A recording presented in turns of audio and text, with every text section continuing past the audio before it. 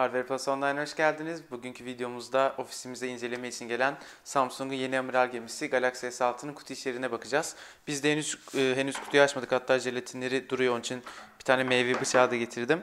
E, kutu olarak bizim daha önce gördüğümüz kutu tasarımlarına benzer. Herhangi bir farklılık yok. Bakalım cihazın içinden neler çıkacak. Bu arada kutunun üzerinde yazan bilgiye göre bize 64 GB'lık modeli gönderilmiş ve beyaz renkli. Biliyorsunuz 16 GB'lık modeli yok. Ee, 32, 64 ve 128 olmak üzere gidiyor. İlk olarak telefonun kendisi çıktı. Hemen şöyle göstereyim. Açıkçası e, şu anda elimde tuttuğum telefon Samsung'un belki de bugüne kadar ürettiği en şık telefonlardan biri olabilir. Çünkü hem yandaki alüminyumlar e, oldukça elde güzel kaliteli bir hissiyat veriyor. Hem de plastik bir telefon oranla telefon tuttuğunuzda direkt o soğukluğu hissettiğiniz için çok daha ele hoş geliyor. Şimdilik telefonu bırakalım ve kutu içeriğinden başka neler çıkacak onlara bakalım. Evet bir kulaklık çıktı. Kulak içi olarak görünüyor. Şöyle açabilirsem onu da göstereceğim.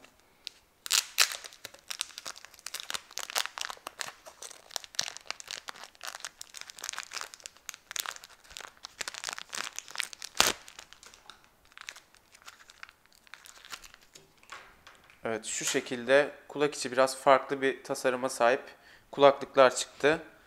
Bunun dışında sim kartınızı takmak için e, iğne klasik olarak.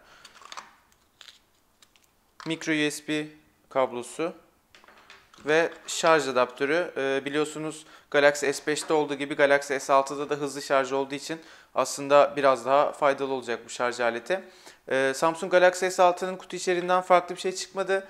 Benim e, bu yıl en çok incelemek istediğim telefonlardan biri olduğu için hemen incelemesine koyacağız ve yakın zamanda da Galaxy S6'nın detaylı incelemesiyle tekrar karşınızda olacağız. Bir sonraki videomuzda görüşmek üzere, hoşçakalın. Now greetings to the world. Vice of the one big gangzilla alongside Skrillex. Them for no. Ooh wee.